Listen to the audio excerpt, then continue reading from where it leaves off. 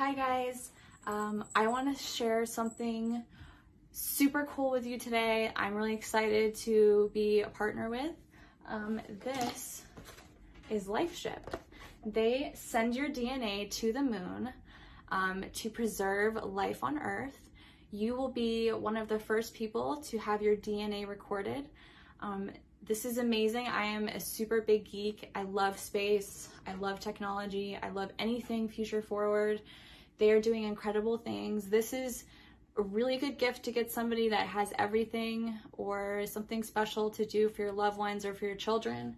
I got one for me and I have one for Jonah. And it comes in this cute little box.